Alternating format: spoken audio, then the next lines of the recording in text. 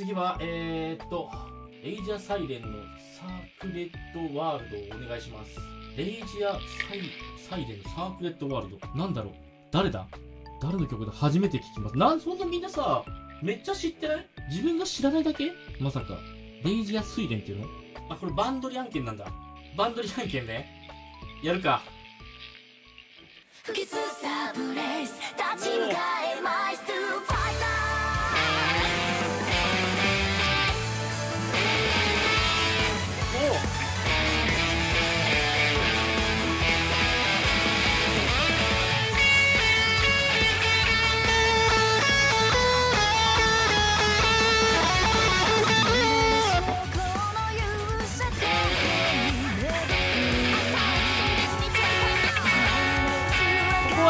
こはずっと6度だね F シャープバイか。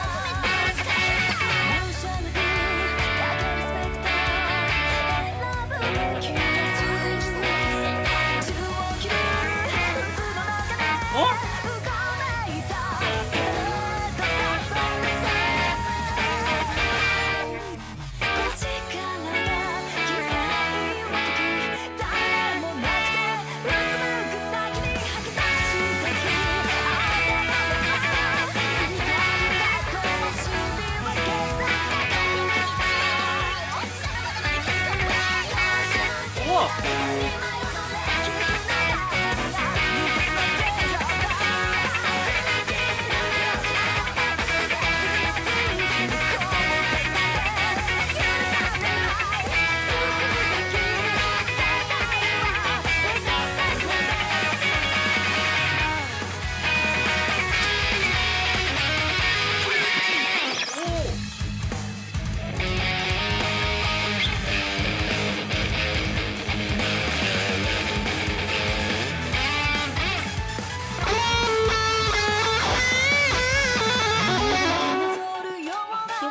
ではないんだ。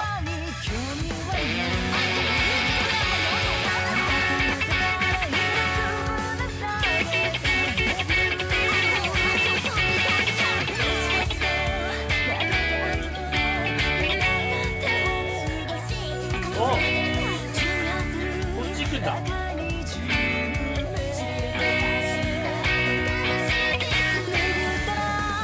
あーここで。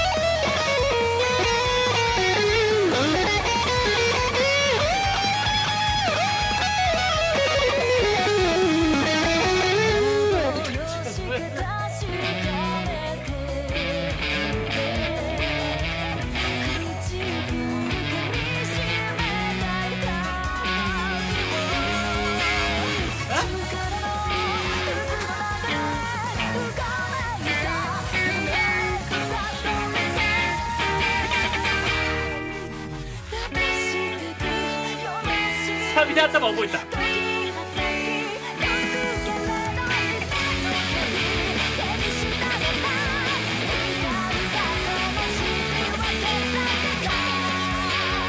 赤いよタッチヒットするね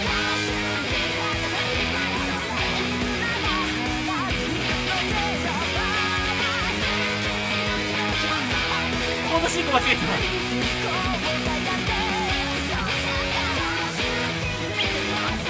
回あるのね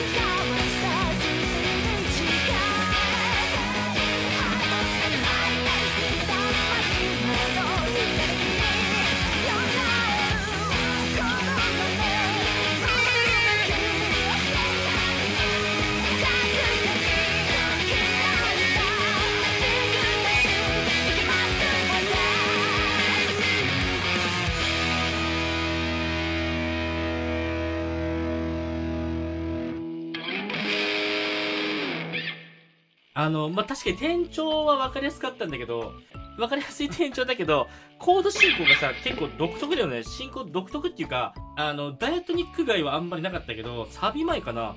だんだんと上がっていくフレーズだったりとか、まあ、転調後のコード進行も、その転調前のコード進行と違ってたし、そこを覚えるのが難しいね、これね、一回で。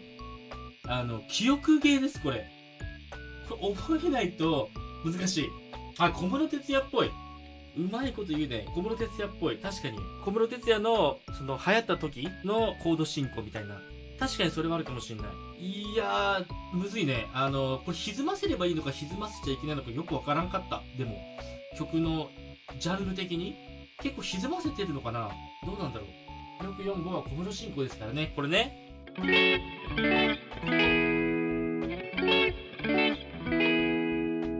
これで、かっこいいやつね。マイナーの単調の曲でよく使われるやつ。これは難しい。スカーレット・ワールドでした。